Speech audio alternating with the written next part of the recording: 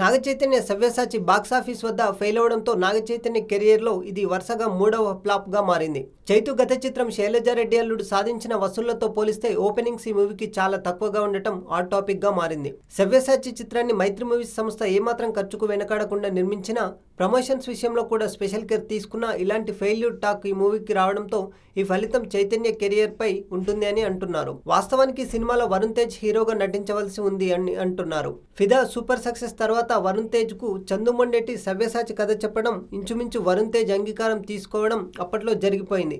అయితే మరింత ఆలోచించిన వరుణ్ తేజ్ తాను సవ్యసాచి సినిమాకు హీరోగా పనికిరాను అని ఆలోచించి ఆ తర్వాత వెంకీ అట్లూరి తొలి ప్రేమకు ఓటు వేశాడని తెలుస్తోంది.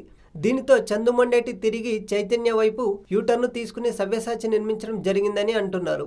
వాస్తవానికి సినిమాలో చెప్పిన హీరో ఎడమచేయి సిండ్రోమ్ పాయింట్ కొత్తదే అయినా ఆ పాయింట్ను కథగా మార్చడంలో చందు మొండేటి ఘోరంగా విఫలమవ్వడంతో చైతన్య ఈ మూవీలో బాగా నటించిన ఫలితం లేకుండా పోయింది.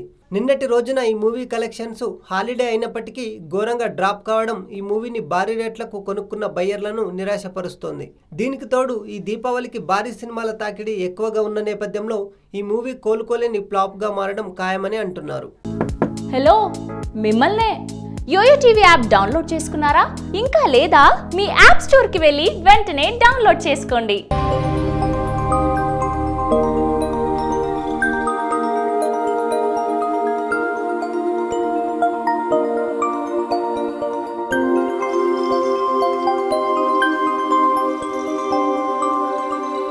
ఈ వీడియో గనుక మీకు నచ్చినట్లయితే లైక్ చేయండి. షేర్ చేయండి. అండ్ సబ్స్క్రైబ్ చేయండి.